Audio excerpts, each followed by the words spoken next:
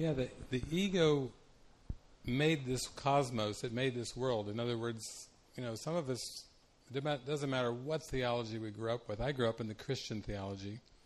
So, in the Christian theology was in the Genesis, in the beginning God created the heavens and the earth. And it took me a while to start to go, hmm, I'm being taught that God created the heavens and the ego projected time and space and including the earth. So when we see things like like disabled children or disabled people that, that seem extremely dependent on others around them, that is a projection of this belief in lack. This whole cosmos of time and space is a projection of lack. Uh, there's never enough to go around. There's not enough air. You get out into space, and there's not enough air to support life, so to speak, human life. There's there's not enough money. There's not enough resources.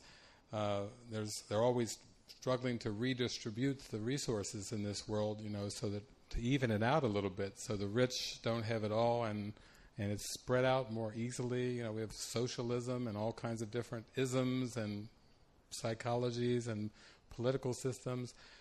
So I I can certainly relate. I ended up working at Ohio Valley Goodwill, and I worked with with people with a range of disabilities, from physical disabilities like blindness and deafness to uh, mental disabilities with uh, different ranges of IQs and mental retardation.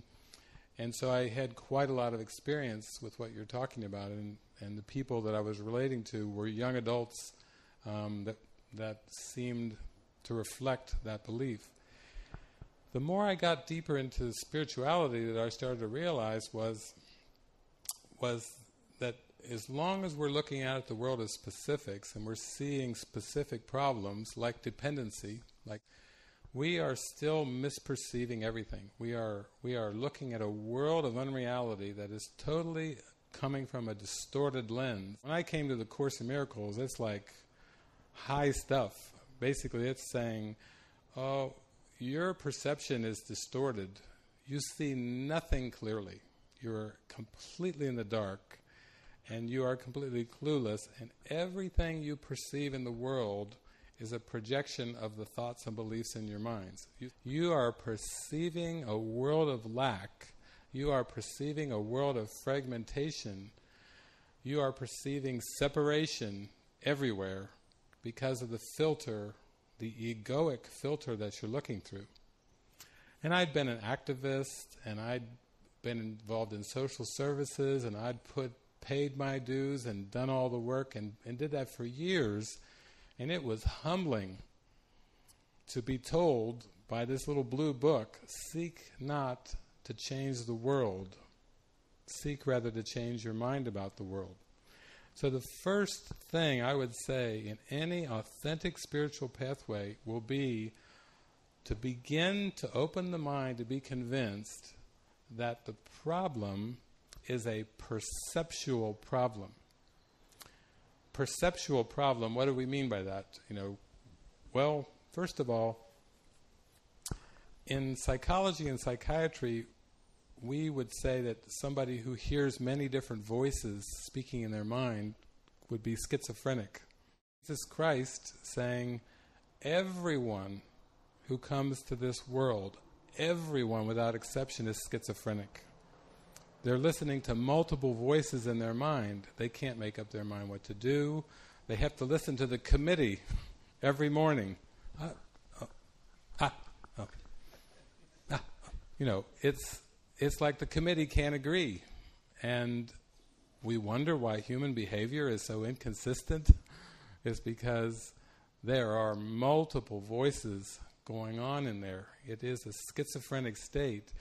And the ultimate basis of that schizophrenia is that the mind that believes in this world is sleeping and dreaming and is trying to listen to two voices that don't have any meeting point and is trying to listen to them simultaneously.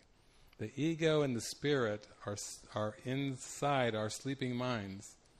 And the spirit's trying, our intuition's trying to guide us out and guide us to peace of mind and joy and love and happiness. And the ego is sabotage everywhere. It's, it's a death wish. It's trying to sabotage us. It's, it's, it's, it is sickness itself. It's, it's, we think of, of physical disabilities as sickness. No, it's the ego in the mind that we believe in that's the sickness. So that's a different take than I was raised with. I went through psychology, I went through psychiatry, I spent years in so- social services, and finally I get to the master psychologist, Jesus, who's actually transcended this world completely, and he says, Listen, I'm going to make it really direct to you. You're schizophrenic. And we got a lot of work to do to get out of this schizophrenic. And it's not only that you're schizophrenic, but you're psychotic. Okay, psychotic too. I'm schizophrenic and psychotic. What does that even mean? Well, psychosis, if you look at the definition in psychology and, and psychi- psychiatry, psychosis is a break from reality. And everyone who believes in this world, everyone seems to come to this world and be identified as being a human being, is psychotic because reality is nothing like this place. I mean, absolutely nothing like this place. It's not even kind of like this place. There's no war in reality. There's no sickness in reality. There's no separation in reality. There's no pleasure and pain in reality. There's no age in reality. There's no time in reality. There's no competition in reality. There's no male and female in reality. There's no masculine and feminine in reality. There is no duality in reality because reality is one. That's why the first commandment is love the Lord thy God with all thy heart, soul, and might. It's it's the Lord God and and our true reality as we were created is pure oneness. And now even quantum physics is realizing we're all connected beyond this veil of separation, that we all are completely connected. So the first thing I had to do, and it was extremely humbling, was start to realize, my gosh, every time I'm seeing a problem on the screen of the world that requires some kind of judgment or diagnosis or some kind of category or some kind of label, which is what this world is all about, it's total distortion. It's total distortion. There's no truth in any of it. So after 10 years of university, full time, I might say, and after degrees and after really doing the Renaissance thing and really studying up on the world, I actually got a, a dose of reality through some mystical experiences where I began with spiritual practices, with the Course in Miracles and so forth. And I had such blazing mystical experiences that on three different occasions, the entire perceptual world just disappeared. It just completely vanished. I just pierced completely through the veil of time and space, and it was the most blazing light. It was almost like, in one sense, kind of getting hit between the eyes with a loving fire hose of love. it was it was just spectacular, and and that was, I always knew there was something fishy about the world, but until I experienced what was beyond this world, I never could say for sure. I just thought there was something fishy going on here. And when I experienced those mystical experiences, then it was like, aha. It was an actual experience, a taste of what lies beyond this world of distortions. And at that point, it was like, okay, uh, this was not like a near death experience. I, I call them near life experiences anyway. I, I don't think anybody ever has a near death experience. They have a near life experience. They go into this glowing, unconditional love and light. That sounds like a near life experience to me. And it gets described in this world as if, oh, the body was dead for three minutes or an hour or whatever. But once I had an experience of that, then I began to attune my mind to it in a more regular way, in a more consistent way. And what that did was it opened the channel up for the Spirit to use this, these lips and this tongue to speak of reality, to speak of the bridge to reality, to be a living example of that. I would have people that would start inviting me all over the world just because I was so happy just because I never have a bad day. That's the reason to get an invitation. Just think of it. if you never had a bad day, you might start getting some invitations from people that said, I like to hang around this energy of joy, of love, of freedom, of happiness.